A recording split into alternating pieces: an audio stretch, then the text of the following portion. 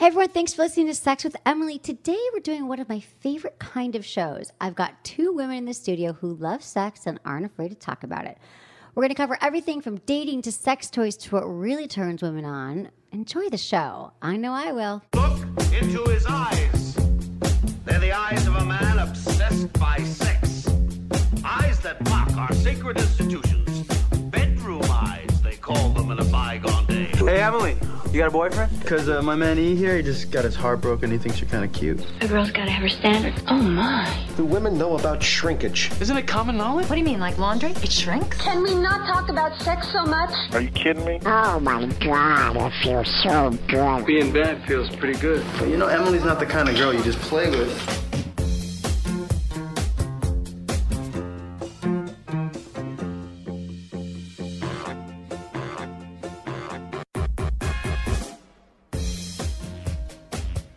Listening to Sex with Emily. We're talking about sex, relationships, and everything in between. For more information, go to sexwithemily.com. You can easily subscribe to the podcast. We put everything at our fingertips, so you just really just like click the subscribe button, and you get our newsletter, social media, and most importantly, subscribe to the podcast. We love when you do that. Um, you can also shop my store, support my amazing sponsors, and um, gosh, I just love you all. Thank you for listening to the show. Um, I'm really excited for my guest. I'm jumping right into it. You should just hear our, if this show is as hot as the mic checks that went on pre-show. I'm pretty psyched. Um, okay, I'm sitting with uh, two awesome, smart, amazing, sexy, empowered women. We have Amy Baldwin and April Lampert, and you guys have both been in our sex toy industry for a while now, right? Yes, both of us since 2008. Okay. And I bet you guys, so this show, like I said, we're going to get in some good old fashioned sex, dating, sex toys. And um, I know Amy because we, well, I've known you both from the shows. You guys were like the hot girls at the shows, like I wanted to be friends with. But then when you guys were best friends, I'm like, I love you both. We can all hang out. Um, but Amy, I did Somatica together. We went through our intensive training. Um, so we bonded, we've gotten closer. So I can't wait to talk about that. I know April's got a lot of relationship stuff going on, divorced, but now like, Free God knows, having so much fun, having so much fun all over the world. Last night, okay, so this is a big sex month for sex industry people. Not actual. I've had fewer sex partners this year than I did two last year. You mean starting 2017? Well, 2017 zero. Like, it's But like 12 days. 12 days in. I'm not going to beat myself up. No, no, it was fine though. I'm saying I didn't have a lot of sex in 2006, but it was fine. It was like by choice. Hmm. The point is, we've got indus- sex industry parties, and there's just a lot of fun stuff happening. So I'm glad you guys both could be in town and be here. And I'm going to get more into all your dirty details soon. But first, I'd love you to join me with a little sex in the news, Ooh, yes. just to kind of whet our appetite here. Yes. Yes. Okay. Erotic books can help women with low sex drives. It was a study. Um, a recent study reveals erotic books like Fifty Shades of Grey could help women combat low sexual desire, which we probably, right? We know that, right? Totally. But the interesting thing is 24, um, approximately 24% to 36% of women between the ages of 30 and 59 suffer from low sexual desire at some point in their life. 34 to 59? Yeah, from 30, yeah, be, between the ages of 30 and 59 Hmm. will suffer from low sexual desire. Haven't you guys, have you suffered from not wanting Oh. I desire? used to, but now my appetite's just so wet. I'm ravenous. Literally. Really? and I'm Right. 34. Right. bet- because, yeah. but you were married for a while. So Why, that's, maybe that's why. That's it as well. Totally. It's I'm like, not going to say, but that happens. And now you're awakened. And now Totally. it's like, and now I can't get enough. Okay, we're going to get into that in a second. I got to get through this news. The thing is, what they say is bibliotherapy is slowly emerging as an effective and cheaper way to solve sexual desires. And so what they're doing is they did like a control group where they a study where they had they gave women a self-help book and an erotic fiction book to read. And it showed that both of them actually helped increase their desire, right? So it says that um 20 women from age 30 to 55 in reportedly happy marriages read the self help book, while 27 women from the same age range read the erotic fiction. Both groups received the same instructions and were given reminders three weeks into the experiment to complete the end survey. And they found that they made statistically significant gains on around desire, arousal, lubrication, whatever. So I just think this is great because I know in Somatic we talked a lot about and in life, fantasy is important, and and getting sometimes your brain just is not on board with wanting sex, and so what as women like what can we do to kind of get ourselves in the mood? So I was just I think this is I'm always talking about that on the show, and also myself. I should probably stand to read some fiction, watch more porn. I mean, I do, but not There's enough. always room for more. But what about you guys? Do you ever read erotica? Yeah, and I always recommend that to clients too when they're trying to get a little turned on. But I like the idea of the combination of kind of little self help going inward, looking deeper into what's going on with the desire, as opposed to just throwing in something spicy. Right. Um, I think they go hand in hand. You know, usually, like we learned in somatica, usually it's something deeper. It's not just like put a band aid on it and everything will be okay. Like, Exactly. let's go like, in there. Buy a sex toy. I although would that the erotica sometimes. to have pictures. Oh, Right. That Right. would be my thing. I'm a visual. Right. So a visual porn. So person. do you guys? So that was my next question. Do you guys do you watch porn? Of course. Oh yeah. Okay. I want to know what kind of porn you guys watch. Oh, I need like a, threesome, two girls, one guy. and you just go to the. Do you go to like a certain? Youporn.com. you porn Categories This go not- down to the They're not an sixth row. endorsement. That's right. And it's the same thing. Not but an you keep endorsement. exp- what'd you It's say? not an They're not one of our sponsors. But do you just and every time you masturbate? Um, yeah, usually I can use my my imagination, but I do better with porn. Right. And no shame around it either, right? Because I try to get women, a lot of women who have not maybe thought about it, they're thinking, oh, I don't want to have sex with my partner, but try to watch some porn, some erotica. Like sometimes you got to do a little bit extra work, and this is not like hard work. Right. I'm not asking you to like There's go out and shovel sweet snow. porn too. That's not and then have sex. Very Yeah, like, watch porn. Shovel snow and well, yeah, that could. What be nice. about you, Amy? What do you? Um, I really like dominance and submission, specifically women being dominated by men. right. I think that's hot. That is hot, right? That That's one of the top female fantasies. Mm-hmm. So I just um. So and what about uh, so Amy owns a store called Pure Pleasure, Yes. correct? Pure Pleasure. Dot com. I have all your pleasure info here. PurePleasureShop.com. Yeah. PurePleasureShop.com. Shop.com. Um, what is some of the bestsellers do you think books that you have there? Books. Uh, well, it's what we recommend because we're definitely an education-based store. So when people come in and we just figure out exactly what they're looking for, um, I always recommend books like "She Comes First is kind of a classic. I love it. We just talked about that. Had Ian on the show a few yeah, weeks ago. I love yeah, it. that's a classic. Um, I really love the book Urban Tantra for people trying to get into the Tantra realm because it really speaks to all people. A lot of Tantra is very much like the man and the woman, and this one really speaks to all genders Oh, Like it. orientations. It's really, yeah, really beautiful. Good. Yeah, All did such a phenomenal job with I it. thought you'd know because the store thing, and everyone can check out your store. We'll give more information, but it's it's in Santa Cruz. Yep, correct. Yep, little and was mother daughter owned. Mom and the mom and Oh, I didn't know me it selling sex mom, toys. too. Yeah, me and mommy. That's so cute. I love that. yeah, she works there too. She works on the floor. She's fabulous. Oh She's my god! So there's like no secrets between you guys. no, no, no, no secrets. No, we talk dildos all the time. Right, all the, that's amazing. I got my mom to like ease into some lube stuff, but Yeah. that's about it. That's a good you place know. to start. Um, okay, so April, you work. You've worked in the toy you industry. I actually started at Pure Pleasure initially. Oh, you did? Is Yeah, that how you yes, guys yeah. became BFF? yes. Well, we met. well- so we met before that in a restaurant. We were both working in the restaurant industry maybe ten years ago. And uh, April got hired. I was already working there, and she was telling the story on her first day about going to a party and getting spanked. And and I turned bright red because I was like, "Oh my god!" well, I I proceeded love to actually woman. spank myself in, fr- in the back kitchen Yes. area. And and I was like, "Oh my god, she's my soulmate." She thought I she thought I actually hated her because she was like, "Oh, did I just scare her away?" And then Amy said she's going to open a shop, and she's like, "I want you to work with me, No for way, me, be the assistant manager." And I said, "I have never worked in retail, and I don't even own a vibrator." Right. And she was like, "I'm going to I'm going to change that right now." Here's a vibrator and, and a it job. changed my life. Yeah, and here's a job. That's amazing. Ten years ago. That yeah, around there, yeah. 2008, and Eight then was when we opened. That it, is yeah. like the beginning of a beautiful friendship. And I- here you are now. You guys are like knee deep in the industry, killing it. wearing lots of hats. I couldn't imagine. I was going to be a lawyer, and now I'm selling dildos. My Right, mom I was so proud. Right, exactly. No, I was going to be a lawyer too. I oh. took the LSAT, and here we are. It's fine. It's way more Good interesting. choice. better. Lawyers are not as so happy much as we better. are. I know. Um, okay, so but April, you worked. So you work for Fun Factory, director of sales for Fun Factory USA, and Right. then um, just moving on? changed to Hot Octopus, which is like the best. They're amazing. So awesome. Congratulations on that. Because I know I always like see you guys at the show, so we'll we'll continue to keep see each other. So okay, so we've got your background. I need to know. Okay, and you guys are how old? I'm 31, going on 32. Amy's thirty-one, and April. I am the 34, going on 12.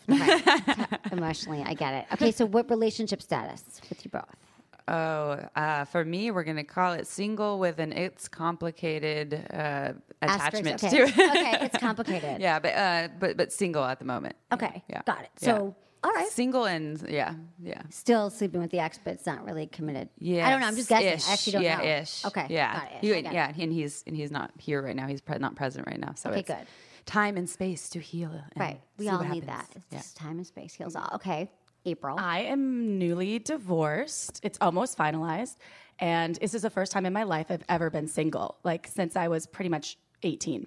How long were you guys together? Seven years, but I had a boyfriend before that for six years, and I was in another relationship with a girl for a little while. Wow. Okay. things. Okay. So you. So then, and then, how long were you married just now? Um, seven years.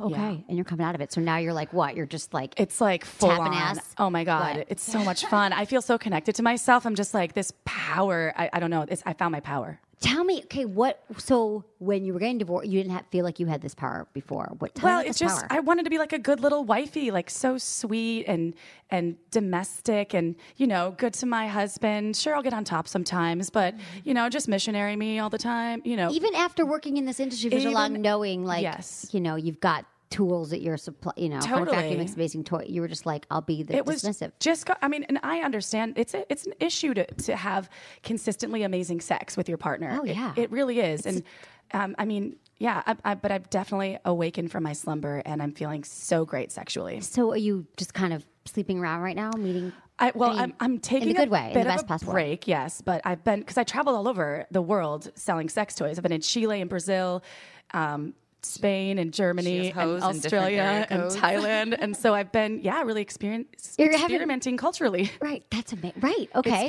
been fantastic. That- so That's. I want to hear. So your partners that you've met in different countries. Is there anything you'd like to say about lovers from different parts of the the world? Um, I, I oh my god, so many things. So um, I'm just curious because people are always encouraging me. They're like, "Oh, you should take a German lover in Well, Germany. You should take I had that." never dealt with um, uncircumcised cocks Oh, before. talk to me about that. So, and I, I had a guy, a Scottish man with a with a Prince Albert piercing. OMG, new interesting things. Also, Let's explain what that is for people who, Oh. who might not know. it's um, it's a the head. Basically, they take. Th- it sounds. This sounds very intense. I'm not a doctor, but it's like through the urethra. There's a the the, the ba- barbell goes through there, and then Yep. it's like.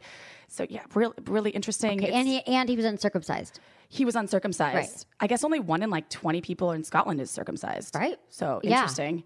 Um, and then, uh, like, what I've learned about people all over the world, like, it was like the year of anal licking. Like, I was like, what is happening? Like, uh-huh. I totally, like, I've never You just experienced named that. the podcast. We're Oh. going to call this one the year of anal licking. but I think there's going to be more.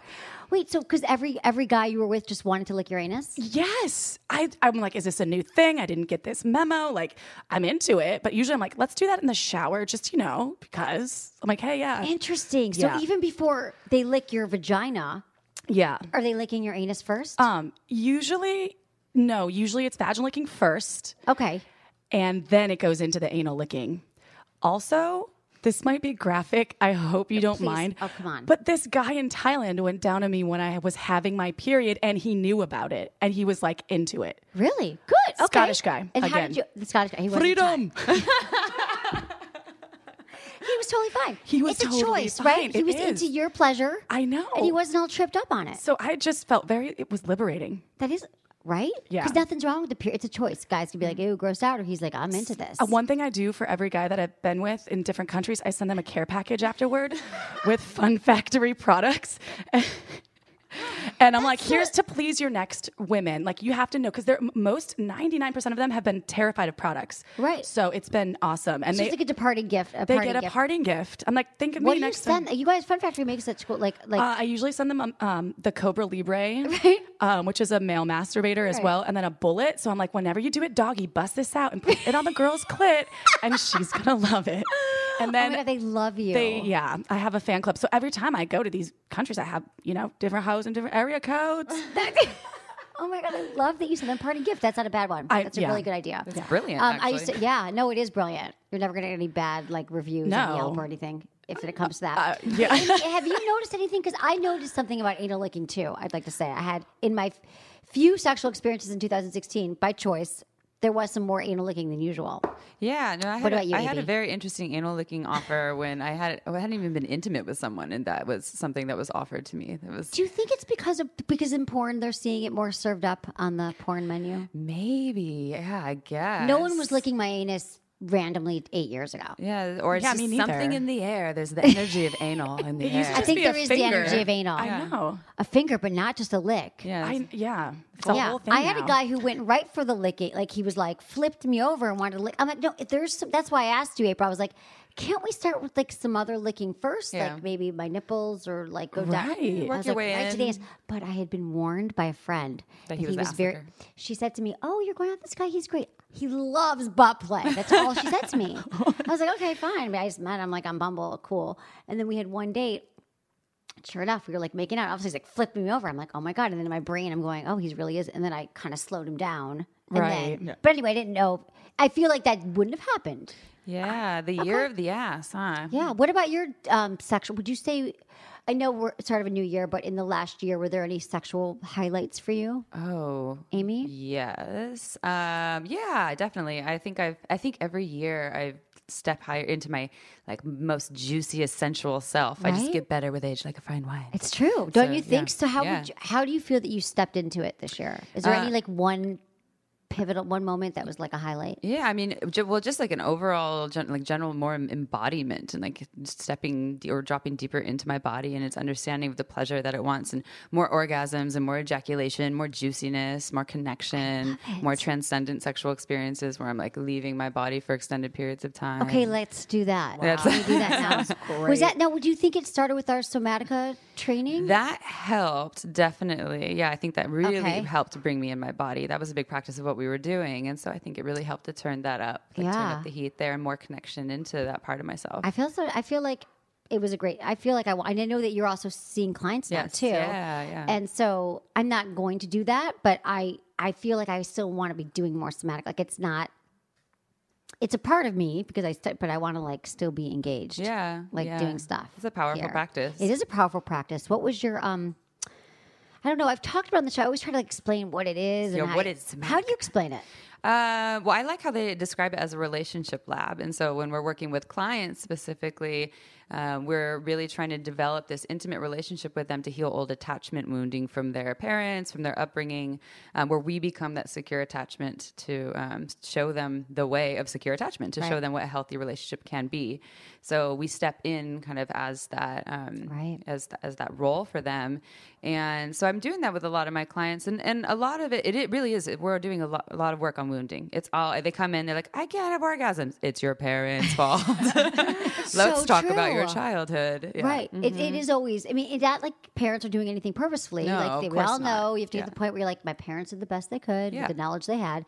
But something from your society, something that happened in society or in school or with your parents is going to kind of hold you back sexually. Yeah. So you're like helping them release yeah, abandonment and lack of trust and safety. You know, they have a hard time going into their bodies, being in their bodies because their body doesn't feel safe because it, maybe it wasn't respected. People didn't show up for them. People abandoned them and left them and neglected them. Where there's actual physical trauma, emotional trauma. It's all just these layers and layers of pain and trauma and shame that we're undoing. We're like Right. spending a lot That's of time just amazing. I'm so that. glad you're you're doing this yeah, and I, helping it. I love 'cause, it. It's, it's really beautiful. God, I feel Everyone like- needs Do you guys have any amazing stories though from your training? Oh, from Somatica, Emily and I have a really I special want- story. We did. We had a moment. We had a moment to hear. Yeah, Yeah, tell me. That was- okay. So the exercise, I think it was. Uh, I was supposed to touch you and bring my eroticism to you in the touch, and you were just supposed to receive. You weren't Right. requesting; you were just kind of laying there and receiving. And I have a lot of experience with conscious touch, and I teach classes on conscious touch, and I'm a meditator and into mindfulness.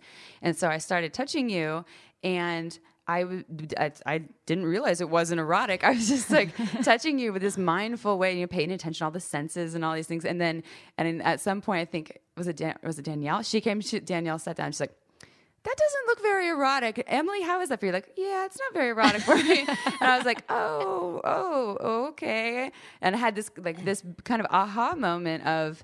Um, that there's different levels of conscious touch and there's a difference between conscious touch and conscious erotic touch and that we have this ability to turn on eroticism within ourselves and then to bring it outward. So through that that like fail view That's how we learn. yeah exactly. And then and so through that, I, I actually learned. You know, I, I I failed in that moment, and then my next exercise, I think it was with the beloved dragonfly. We love dragonfly. Love Dragonfly. And, Shout out. And yeah, shout out dragonfly, and just learned that I could essentially go within to myself and just to go in there for, thir- for thirty seconds, kind of connect with my inner you body. with it, you- yeah, okay. go in there. Just take a moment. I talk to clients about this too, is that we have the ability to just go within, feel our bodies, you know, feel our genitals, feel our pussy, feel our cock, go in there, like feel this churning, warming energy, open your eyes, and then go outward and bring it to the person in front of you. And Mm-hmm. I learned that I can do it for anyone. Like I can do it for Meow. uh, any gender, any. It's just I can turn on. you can anytime. turn on your, and that's what yeah. it is. And you taught be- me that, Emily. Thank I did. Oh my god, I love that. Well, yeah. Well, we all helped each other in this class, but it's interesting because people hear this going, "What?" But when you are a, a somatica practitioner and you're working with clients who are, you know, have a problem, with, you know, are ch- struggling, have challenges around like desire, mm-hmm. arousal, erotic thought, we have to be able to bring, like, turn it on in any moment. With some bring that erotic energy. If you're like, well, what if you're not attracted to the partner? Or what if you're not attracted to your client? Or what if you can't? But what we're saying is like we learned is like you actually can't. Like it's a choice at any moment. Yeah, go in your body. fantasy is a big part of it too. You know, you can look at this body and say, "Hey, you're not usually my type, but I'm going to use fantasy and assign a whole different body to you." And it's nothing against you. We all have our preferences, and you know, I could look because I'm definitely more attracted to men than I am to women. So I could look at a woman, turn them their body in my eyes into this like hot man body, and just. Just And that's ravish totally them. fair game, right? yeah, And then totally. you- and then you bring the energy. Yeah, It is healthy. It, it doesn't mean anything against the person. It doesn't mean that, um, you know, if it's your partner and you're still using fantasy of someone else, it doesn't mean you don't love them. It doesn't mean that you're not attracted to them. It means that you have some awesome tools in your spank bank that help you to go deeper. Right. And why not? Because you're giving them um, a lot of hot, arousing energy. So it's, it's a good thing. Right. That's really good. That's really it's, it's true. I had never really. That's why I was saying I need to watch more porn. I mean, I, obviously I do, but I feel like that was a big takeaway for me from Somatica too, is that I really don't like a lot of times I'll just whip out my toys and master, but I'm not using my brain a lot. I'm. I'm not, I'm not using my brain. I'm not like turning it on and having a fantasy. It didn't. I didn't naturally have like I have some bondage. You know, I have some dominant ones, like some basics, like whatever, but nothing that was more elaborate and that you can actually work on your own story. What about you, April? When you do you have like an erotic? Do you have a? An erotic fantasy. What's in your spank bank, April? Okay, Yeah, to be spank honest bank? with you, it's really when uh, it's it's I'm, I'm more attracted to men than women um, as well. But it's when the guy is like making a lot of noise and then throwing in some dirty talk. Oh, yeah, that's hot. That's hot. I love dirty talk. I love talking about how dirty like my pussy is. Right. like you dirty little slut. You exactly. like it, don't you? Oh yeah. Is that see? why the guy went down? You're like, I know it's kind of dirty with my period right now. I want you to go down on me. But that's Is hot. that It's dirty. Um, I don't re- recall exactly what, what spawned the the uh, yeah the what I don't. Is there a name for that when the guy goes down on you? There probably isn't. We should name it. We should. What is it called? should. Red. It's something bad. It's something. Red Wings. It's red, Red rings. It's red rings. How did I know that? Oh, It is Oh, red he's got wings. his red wings. Oh, yes, he did. And he lived to tell. And his and he accepted did the care package. And P.S. It's true. Like the Scottish people wear kilts and they don't wear underwear underneath them. they really. Do- He No. was in a kilt. Well, no, He- while he was red winging in a kilt. that is my fantasy right there. Oh my god! Wait, you guys, I have a question for you though. Okay, so being in this industry, right? We work, we sell sex to people. Do you feel like there's these, this assumption Oh, yeah. around who you are and what you do? Yes. Um, and has it affected your dating life? Um, yeah, it, I think it yeah depends on the environment. Yeah, I, I definitely have people that think that I'm uh, a little intimidating, uh, and I also have people that think that I'm into everything that I talk about because I'm also a sex educator. You Right. know, I teach workshops on sexuality at your store. Yeah, People so can check it all yeah, out. I also teach things on like tantra and uh, male sexual pleasure and anal 101, and I'm actually into most of those things. But there are some things that I'm talking about and educating on that aren't a part of my private practice, but people just assume like you're in the sex industry, you're into everything, you're poly, kinky, queer, all you know, all these things, and um, you know, I'm I am me, and I'm a lot of those things, and I'm also not Right. a lot of those things. I'm just curious because I'm sitting here with women who, you know, like April. Do they like think you're going to whip out the Duke like on the first? Um, yes. Right? It's, it's They're like, "Where's the. Duke?" It's like They're the double oh, You must be so kinky. I'm like, well, I mean, I don't know, I guess, but I just sell it's a commodity, you know. I mean, sex toys are beautiful. They're enhancing tools to make your sex life better, but also for me, I'm in sales, so it, it's awesome to bring orgasms to people one vibrator at a time, Right. but I'm not some kinky closeted, you know, like I have 900 vibrators. Although when I go to the I airport. TSA thinks I'm crazy. She does have a lot of I vibrators. literally Yeah. do. I literally like it's a Oh. problem. I do have a judgment, a little bit of a judgment against um, I because I work for a lube company. I work for Uber Lube, so Right. when I actually go into um, into the men's bedroom and they don't have lube, Oh, I'm, I'm so, so ju- tur- yeah. Like, okay, let's talk why about lube for a minute. Okay, lube yeah. is one of my favorite Yes. topics. Yeah, everyone I should have lube. I am a huge, well, obviously, lube. Like, Yeah. it, there's should be no stigma around it. It's to make sex better. It enhances every situation. There's this. They say like, why would why would we need that? Why why would I need? I, don't- bring my I don't own need lube. I bring Uber lube to the gynecologist because I don't want them to use like the whatever Shitty KY. glycerin. Yeah, no, I got you. I got you. But it also, women like, don't you feel like even if and people are like, I don't, I don't have that problem. I'm not wet. Like, I, I mean, I already get wet. Yeah. But even with a lot of contact, like back back to Right. back, you do end up needing lube. You don't always Well, and, and the wetness thing. There's this really great book. Have you read "Come as You Are"? Yes. so good. yeah. Such a good book. I think that was one of our textbooks that we had to read actually for our textbook for Somatica. I didn't read any of them, and, but I- and she talks about it's arousal non-concordance, and, and in arousal non-concordance is that we have. Um, this idea that there's certain things that go hand in hand with arousal, and if you don't have that, it means you're not turned on. And wetness is one of them, which actually so many, and wetness is based on so many things. Hormones, you know, sometimes you're wet one day, sometimes you're not wet, not wet another day, and it doesn't mean you're not aroused. Right. And and vice versa too. Um, you know, it, it's just there's just like this this judgment on people that if you're aroused, you should be wet, and plenty of people don't always get wet. and It changes day by day. I have a blocked gland. There's the Bartholin's glands that Yeah. produce um, vaginal lubrication. One side of my gland's completely blocked, and so I have less lubrication than other people. Doesn't mean I'm not turned on by you. So I use my lube. Right. I no, agree. I know it's so true. And I actually, one of my lower sexual experiences of the year, I was with some guy, like, you know, I don't even remember when this was. He's like, oh, get wet for me. Are you wet? And I was like, because we know so much being sex educated. Like, I might not, I'm usually wet, but I might not be. And being wet is not a sign that you're necessarily turned on. People are shocked to hear that all the time. You could be on a It actually wasn't decongestant wet. and not producing. Exactly. yeah, you know, There's different times of general. month. That's the other reason why. It got, I think that a lot of people think it's a fail if their partner's not wet. We're just trying to tell you that it doesn't always mean that. Everyone should own lube right. and really good Absolutely, lube. right? And good Check the condoms. ingredients. Yes. and Yeah. good condoms. Yes, Right. I hope to use condoms in, in Always. your travels.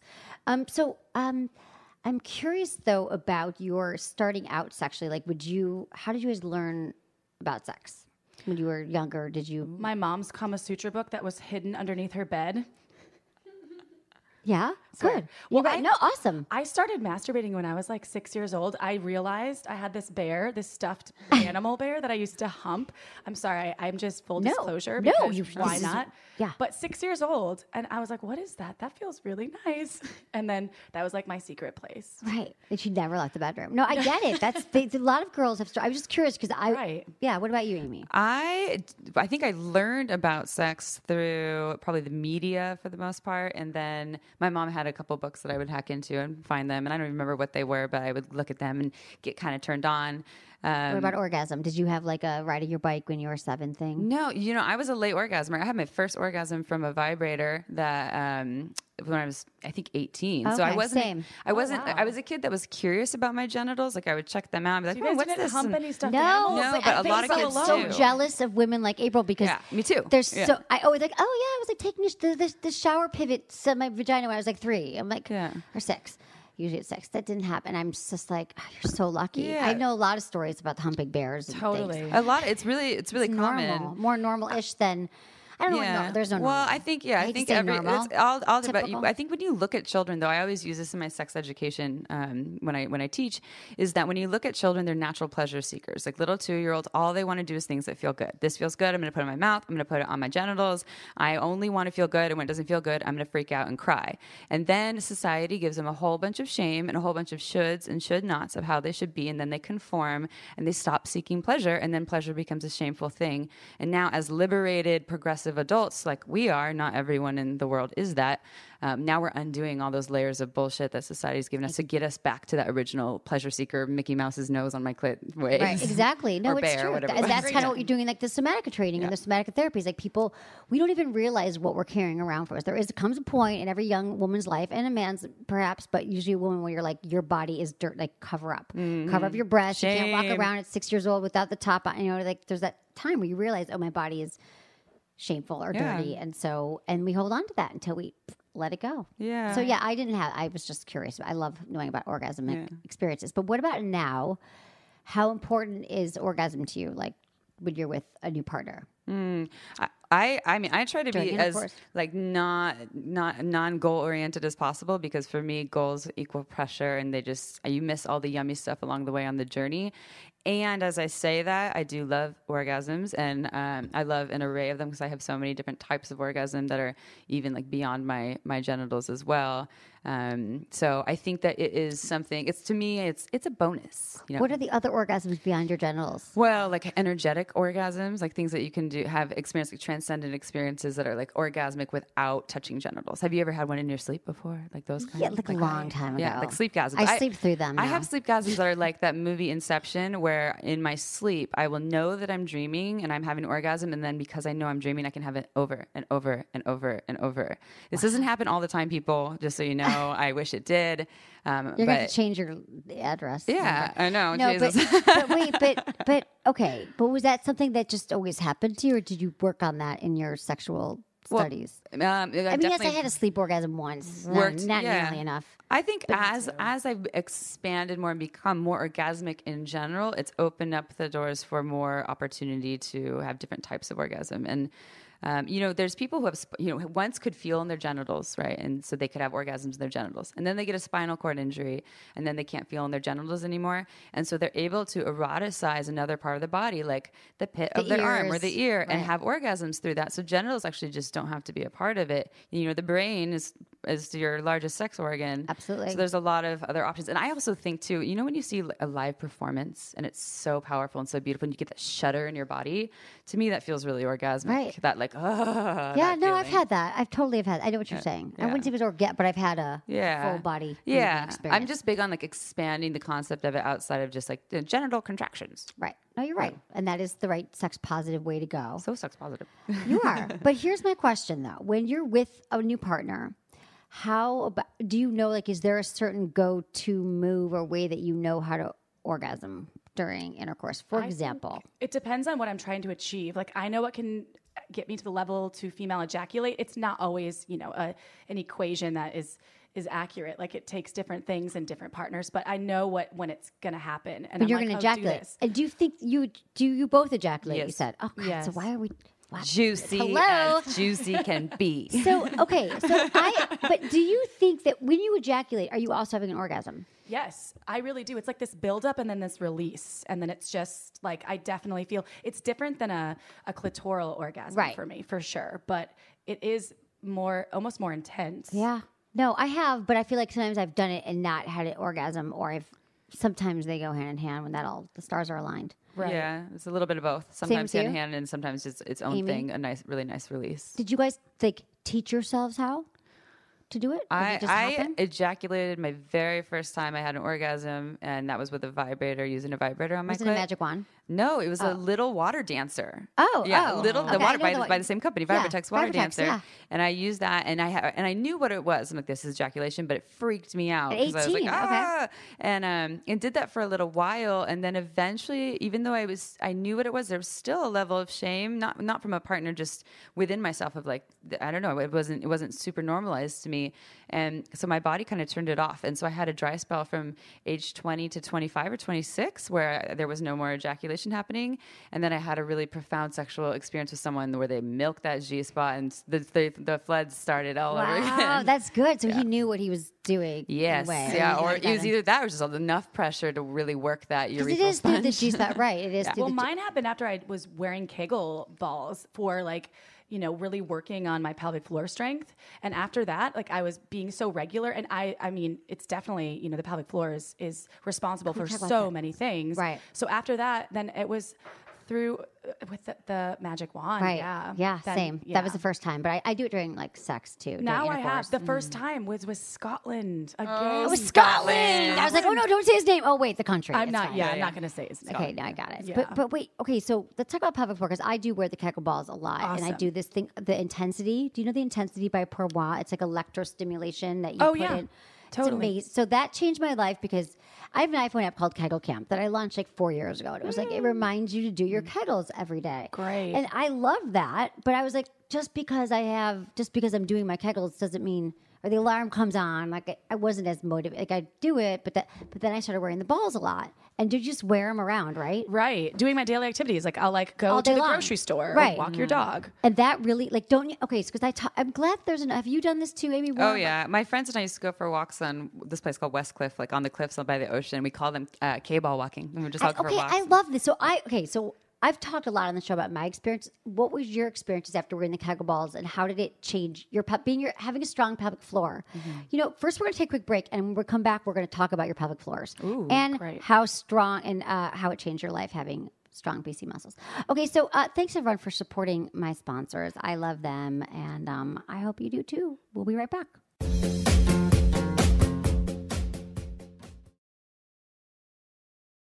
All right, we're back. We're talking about your pelvic floor. Okay, so what did you guys realize after having stronger PC muscles? How did it impact for, your life? For me, it just made my orgasms longer, stronger, more intense. Um, and really, oh, I went to the gyno and I put the, he put the speculum inside. I have a male gynecologist. And he says to me, You should be a pelvic floor model. I was like, What does that mean? He said, You know, people that are training to be gynos, they need to like have people to practice on. And you have such a strong pelvic floor, you can hold the speculum in for like 20 minutes. I'm like, Can you take it out? No, but thank you. I'm like, See, the Kegel balls worked. That is the best story I've ever heard. It's your gynecologist. Mine once said, You have really nice abs. And I thought that was inappropriate. It was a man. But this to me is amazing. I mean, it was. I was like, "Well, thank you," and I'm like, "Should I just flex?" Oh, I'm flexing them. Right. I'm flexing. But don't you feel like, and you don't see, I don't know if you guys ever have that when you sneeze and you pee it or something, you laugh. Like I had some of that. Okay. You guys don't have that yet. But also, I feel like G spot, like my whole, I was having more orgasms. I was more turned on. Right. I still am. I mean, I've been Right. doing it. So, do you, what Yeah. about you? What I, about I you? mean, I think yeah. This so this as as uh, female-bodied individuals, you know, we don't see our arousal, which is like we don't get erections, and all of a sudden there's like this big thing in our pants. So I think uh, Kegel exercises really help us to tap into that part of our body. Not only is it toning to help with stronger orgasms, but even just utilizing that part of your body, like actually just just flexing the muscles, gives us some connection and awareness, and can actually lead to arousal too. So That's it. That's yeah. what I always. That's why I do this. I do something every day. I'll do the Kegel balls, or I'll do the intensity because I feel like just breathing into it and Mm-hmm. having that consciousness around my body is like it, it turns me on, and that's what I always tell women as well. Mm-hmm. When I, keeping I, I keeping up with your trainings, Kegels. yeah, when I do trainings all over for products, obviously. And one thing that I like to tell people, it's like any muscle, you know, like any muscle, if you don't work out, what's going to happen? It gets loose. and think about having a loose, you know, vagina. Right. Doesn't sound appealing. Nobody wants that. They want it like, you know, healthy. So I, that's so, and that really does. I feel like gets gets gets into people's heads. So Right. Okay. Well, we also live in, also in this in this society where, where it's not something that is like widely taught to women that um, the idea if you don't use it you lose it, and there actually is some truth to that. That as we get older, the tissue changes and the muscle structure changes, and a lot of times when women go through menopause, the desire shifts, and so they're actually not using that muscle, and then the desire shifts again, and they want to use the muscle again, and at that point it's really weak, and so then they have to go back and use dilators, and um, when in fact if they had been exercising that muscle all along with Kegel exercisers, that might not be as much of an issue. Ah, absolutely right. I love this. So download my iPhone app, Kegel Camp, and buy some balls. Don't you think? Did you mind your own now? You mean you guys aren't both wearing? Maybe you are wearing balls. we now. should have worn the Amy balls. gave me my first pair of balls. She did. she did. we share balls. But I do love. I go through periods where I'm like, I'm just wearing them all the time, and it's, Awesome. it's amazing. Okay, so my next up topic. Uh, just thinking, where else can we go? Blowjobs, blow oral sex. I Oh. just think that when we talk about, I always get women. I ask them like, what? How do you feel about it? Mm. What are some good tips, maybe for women who aren't as into it? Like, do you have any special go-to moves, things that people? Whenever I Got a teach standing blowjob ovation. classes, like my oral sex classes are always, and you teach those too, right? So it's always like the the one the only thing that I know that works for everyone is enthusiasm. Just like being happy to be there in the presence of this beautiful cock that's in front of you, um, and everything else. All the other tools and tricks are um, are great. I don't think there's like one thing that necessarily applies to everyone, know. except for moisture, I like think well adding lubricated. vibration to a blowjob Yes. really does help, and I love like cupping the balls with something. Yeah, don't forget the balls. The The, balls balls, are need- very they love some love, and Absolutely. yeah. Or I used to holding the balls about like the those balls little, like completely. those Yeah. stress balls, the stress balls you can buy in Chinatown, like kind of move, That's what I massaging was- them like that. that's- Right. Balls like that. That's how, right. Oh, buy those to play with. To, to- no, no, just touching the balls like that. Or That's also, what I say too. Those. Ben Wa balls. That's how you hold them. Like, and then, and then Right. also, you know, the cock extends even back into the body beyond what you see in the balls. There's more cock and more shaft down there that also loves some access too. So the cock keeps going. Don't neglect the, the base of the cock. Exactly. Lots of- Okay, good. What about some um, cunnilingus tips? Things that you particularly like or that you think have been helpful in your Hmm. meanderings through life. Cunnilingus tips. April's Things that you like. ex-husband is was known as the pussy whisperer. Oh, that's good. and you still was. divorced him. Is he single still? Um, I believe so. He lives in Israel, but oh, no, it's so yeah, too far. I mean, I'm Jewish, Um, but I'm, Oh, no. yeah. Oh, you're Jewish? yeah. Oh, we're Oh, me too. okay. We're Yeah. Are you, did we talk about this? I'm a I was quarter. Jewish by injection. I mean, um, the thing I'm, that kidding. I'm not going to date your ex anyway, but but I want to hear about why he why he was known as the pussy whisperer. So I think the thing that he did so well was the sensual nature. Like the whole like ABC thing is God. totally bogus, right, right? like, and I'm like, drawing the alphabet with your tongue. no. And people get too hard with their tongue. I think the softness of the tongue and incorporating not like a lot of hand movements along with um, with you know the action of the tongue is good. Use the you know the vagin the, the vagina uh, along with the vulva. Don't just use Not just external. just yeah, not Right. just external play, but Because we have a lot of internal. listeners, young male listeners, who have never done it and they're nervous and free. You know, So I know it's like beginning too. They always want to know. I'm just thinking, talking to women about what they like. I always talk about uh, praising the pussy because there's a lot of pussy shame. So, like, right when you get down, Oh your my face is in God. front of the pussy. Let that pussy know how beautiful it is. Like, oh, your pussy is so gorgeous. Or if you don't say gorgeous, but like, just praise it. I agree. Hail to the pussy. Hail the pussy. Okay, you guys. I would be. I would remiss. I would be. I would be remiss if we didn't have a conversation about sex toys. Since we're all in the industry. Of course. Yes. So I need to know what's like your favorite toy right now, like your go-to for you personally, if you have um, one. Okay. I so personally it's so simple, but it's like uh-huh. the most versatile. I love just a simple bullet that's powerful because you can just use it anywhere and it's like compact so you can just throw it in your bag. I love that. Just a simple bullet with a lot of power. That, that was like my first one. Yeah. right? Yeah, I get it. The a rechargeable, waterproof, like one. Fun Factory makes like- an awesome one, but Right. I know that We-Vibe does too. We-Vibe is a tank. I love the tango. Yeah, the Tango's The really Tango's like when I first saw, it, I was like, "That there's a bullet that can do Oh, this yeah. and, And go underwater." I do love um, adding a vibrating cock ring to stuff too because it do, like it really does enhance and change the experience. Because like if you're riding, you know, on top, you can get vibration um, on your vulva. while you- so it's wonderful. I love a good cock ring. Me too. It's true, and it's a good entree too for a lot of couples. A lot of people who have not tried toys with a partner. Right. You're like, hey, we all get the vibration Because you don't It's need great. it to use it just to like maintain an erection. People get, you know, kind of caught up in that. Like you say so cock ring, they're stretchy and they're so versatile. So I think Right. It's an enhancement tool for a sure. good cock ring. Okay, Yeah. what about you, Aim? Uh, okay, here we go. So for vibrators, I I'm a, I like the power, and I like that deep thudding power, not the light buzzy bullshit. Um, so I would go with a Mystic Wand because I like smaller ba- battery operated. So Mystic Wand is a Vibratex toy. Um, or if I'm feeling like I want something a little smaller and more quiet, the Crave Duet because it has that deep thuddy vibration, but it also is tiny and doesn't make any sound. Bring it everywhere. Which is fabulous. You can bring it everywhere. Um, and then I'm also I like some anal toys. I like anal plugs. Njoy line. Love that. Love stainless steel. Oh, Yeah, stainless steel butt plug. Yes, that's and- fun for the whole family. Yeah, stainless steel is wonderful. And then um, lube, Überlube. Every time, every time I'm having sex, it's always there. The other things like vibrators and butt plugs, they come in on the occasion. Lube is always present. Yeah, lube is a, is a staple. I totally, I totally agree. Now, I also have a lot of um, questions from listeners who are always concerned about bringing toys into the relationship. They're like, I have a toy. How do I get my partner to try it? And I know with us, it's like I know people come to my house and they assume like there's probably toys drying on the dish rack, or they just know what I do for a living. But I don't know. I mean, you teach classes. Like, how do you and you talk about it all the time? What do I you tell think people? as a hetero female coming from you know me being um, with mostly men, incorporating like the Hot Octopuss that it's a male masturbator that can be used as a couple. So it's it's, like like guy. It's the bri- it's- it vibrates, the right? guy- vi- it- Vibrator. it- it's a vibrator and it oscillates, so it has this like technology that like kind of thumps. So incorporating, I think a male bodied, if you're a hetero um, person that uh, is you know hetero, hetero Right. female, is really useful. I mean, couples toys are always the best. way right. to I think so too. I like. Yeah. I, I love a good couple, like a good strong cock ring or a anything. Amy? Yeah. Yeah, yeah. I kind of talked yeah, about that. Couples toys. I think the scary thing for couples is like, what if it replaces me and it feels better than me and that dildo, you'll want that instead of my cock.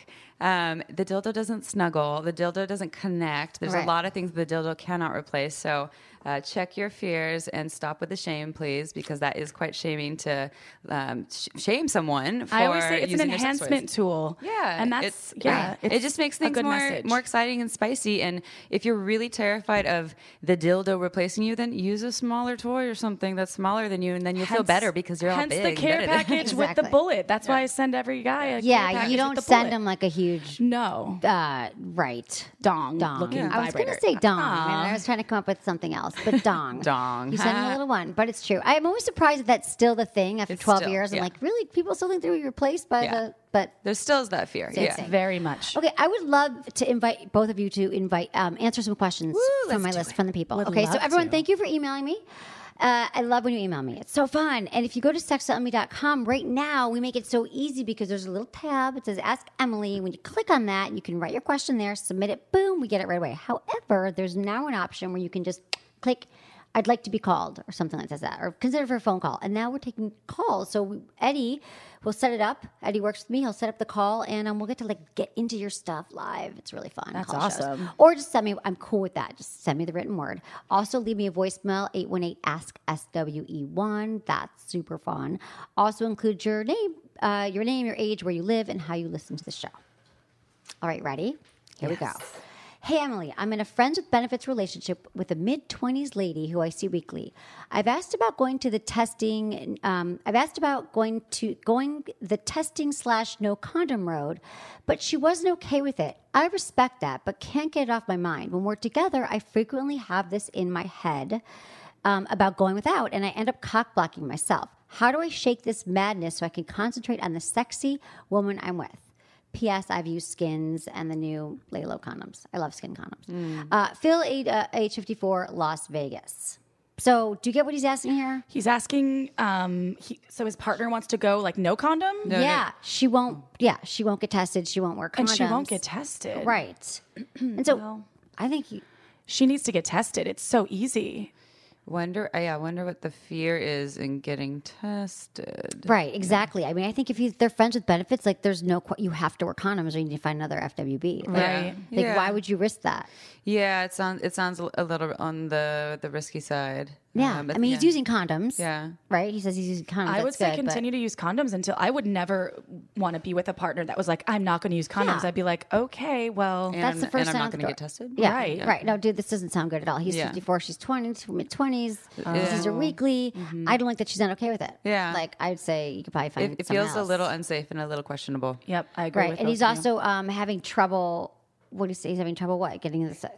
Cock blocking himself, he gets hard keeping Oh, it 'cause up. gets all well, yeah, I get it. head. A lot Yeah. of guys get nervous because they're afraid they're going to get pregnant. He's going to get STD. That makes sense. So, Yeah. um, you know, Yeah, of continue course. on the condom route, and if she doesn't accept that, then maybe it's time to find a new, yeah, friends Yeah. with friend with benefits. Yeah, exactly. Okay, so we've got another email here.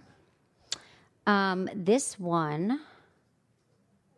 Okay, dear Emily, as a result of my infidelity, I am in the process of getting divorced.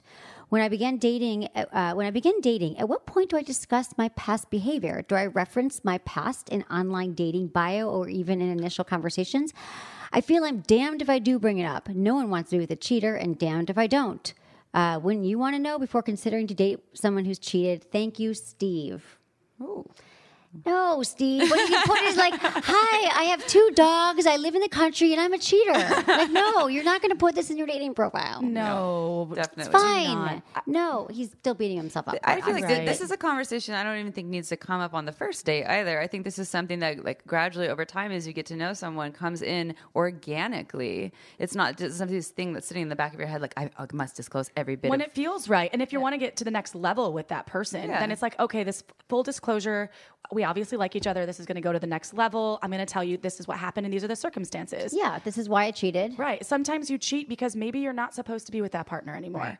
That was i mean yeah And also, just to kind of normalize it a little bit, a lot of people cheat. It's really common. So you're not Right. this like outcast in society. You'll probably say that and they'll be like, I cheated too. So, um, Exactly. and there's so many different ways to cheat. And it doesn't have to be physical, The there's emotional cheating. Once a cheater, always a cheater thing, though. I don't believe in that. I think that's like something that people that were cheated on kind of say to make themselves. Right. I don't know. I don't think that. Yeah, you can't. You can't make any generalizations like that. That is Right. true. And I just think that he's still, Steve. You're still beating yourself up for this. Yeah, be nicer to Like you feel like this is like this scarlet letter or something. Like he can't get past that. He's always going to be a cheater. or that you're- They're going to shame. But li- yeah, it is true. It's not the first date, so I cheated on my wife, and that's why we broke up. I mean, that's not what you're going to bring it up. But I think eventually there comes a time in relationships where uh, you talk about it. And I really don't think this is like a deal breaker. I'm sure there's a reason you did it. I'm assuming you don't always want to be a cheater. yeah, did you and learn I'm from it? be fine. Sure, Right, there you learn, go. grow, Yeah. and yeah. I used to be a cheater. I've talked about it. I'm a reformed cheater. I cheat on everybody. Like, you Reformed, I like that. Yeah, yeah, I just didn't cheater. commit. I don't Yeah. commit typically, so I don't cheat anymore. It's, Yeah. It really works well. No, but I don't want to cheat. But I did in the past. I never got caught. It was a whole thing, and I'm over it. But it's fine. You can move on, and You it's okay to talk about it. Yeah. Okay. So I've got questions for you guys now. Oh. Five questions. and um, they're rapid fire, so don't think about it too much. Okay. Okay. Okay. Um, first, I'm going to ask Amy. Then I'm going to ask April. Okay. Biggest turn on. Amy. Oh, dominance. Um, Clitoral stimulation. Biggest turn off. Um, oh my god, what would be my biggest turn? Anyone that sticks a finger in my belly button. Okay. I think you say butt. Don't touch my belly button. Biggest turn off. Um, not being vocal enough while you're in the midst of the uh, orgasmic experience. Okay. Cr- all right. I like Silent to- orgasm. yeah, I like, want did the- you come? I'm Did you like, not? come Did you go to order pizza? Where'd you go? Like, I Right, love okay. that. Craziest place you've gotten busy. Oh, um, while with the pilot while he was flying the plane. Shut up. like a Yeah. plane with other people on it? No, it's like a two-seater plane. Okay, got and He it. was flying his own private plane. Dude, that- you're so dangerous. yes, I, like love to it. live life C- dangerously. I don't know. I could never type that. Crazy place you got busy. Um, on a long tail in Thailand. Scotland, Scotland. freedom. you in Scotland? Wow. Why is it that Scotland? Was he wearing his kilt? um, no. I love him. Okay, sexiest word to you, Amy. Oh, pussy slut, pussy slut. You slutty girl. I love your pussy. Nice. Okay. Uh, what? What? Sexiest word to you, April. Queen, boss queen. That's right. What's the one thing you wish you could tell men about female pleasure that they don't know? To go slow and then slower than slow and then slower than that. Um, use a lot of your hand motions on the vulva. It feels really good. Use the vulva more, not just the vagina, but the vulva. People vulva. don't know that. A lot of people don't know. Maybe it- External anatomy. External, yes. Right. Pay attention. Right. Pay attention. That's a really good one. You guys, thank you so much. You oh, guys, this was thank this was a you. delight. It was fun. This was This has so been much in the fun. makings for so long. I really, I love you guys both. So let me tell you, we we put this also going to be on our website. But Amy, the best way to find you teach courses. You're seeing clients. How's the best way for people to find you? Uh, best place to find me, you can email me at amy at purepleasureshop.com or my website, www.purepleasureshop.com. And we have a little newsletter box there. And I know that's for a retail store, but that's also actually how I um, email out my clients too for my somatica practice as well. And there's sex education classes and online classes and all kinds of fun things. So That's great. You're kicking ass. come find me. Good. Okay.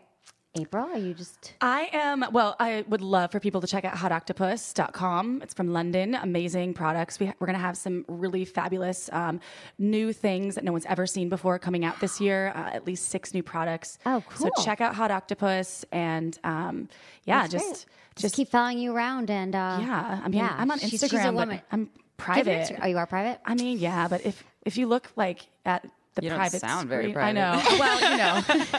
She's got to be president. I mean, she's, Okay, she's got to keep something. If you want to talk to. April, get a hold of me. I'll screen you Yeah, and see if I can put you Thank you. They're best friends. Yeah, You're we're best friends. Well, thank you guys. This is wonderful. Thank This you, Emily. Beyond my wildest dreams. Okay, so thank you guys, and thank you to my amazing team. Thank you, Madison. Thank you, Eddie. Thank you, Jamie and Ken and Lori, and um, who else do I want to thank? Thank you, Michelle, who's here taking pictures. My buddy Michelle. Thank you. Uh, and thank you everyone for listening. Was oh, here's the other thing I did not mention. You should follow me on social media. It's so fun. I love uh, doing it all. Snapchat, Instagram, Facebook. It's all Twitter. It's all Sex with Emily. That's so easy. Okay, I love you all. Thanks so much for listening. Was it good for you? Email me feedback at sexwithemily.com.